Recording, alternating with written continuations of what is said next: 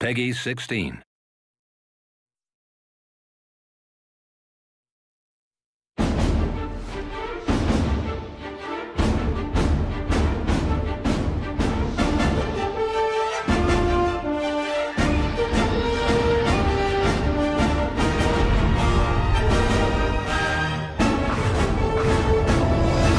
We wanted to tell an original story. We wanted to take players on an adventure they hadn't seen before. One of the most important things we did was bring on a great writer. We brought on Marianne Krawczyk, who wrote the God of War trilogy. This untold story of Kirk and Spock is canon to the new Trek universe and takes place after the 2009 film and before Into Darkness. The Enterprise intercepts a distress signal from these Vulcans who are stranded on a space station. We have a shuttle ready for your evacuation. Tamar.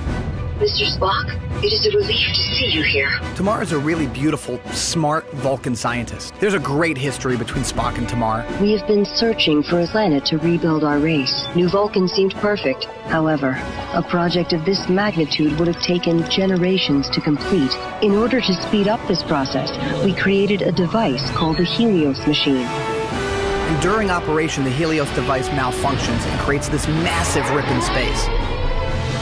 I believe that rip is the reason my father ordered the Helios machine to be shut down. Her father, the Sirach, he is one of the elder leaders of the Vulcan group. We need to talk to him right away.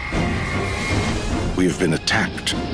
Creatures emerge from the rip. They call themselves the Gorn. We cannot allow the Helios machine to fall into their hands. They would be able to attack without warning anywhere in the universe. All of a sudden, the Gorn attack. They take the Helios device and they capture Tamar. Tamar!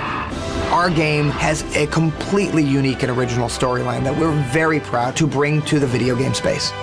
Our mission could not be more clear. We must go through the rip and recover the Helios machine. And Tamar? I suppose we will just have to save her as well. You read my mind, Commander. And you didn't even have to do that uh, voodoo mind meld thing with my face.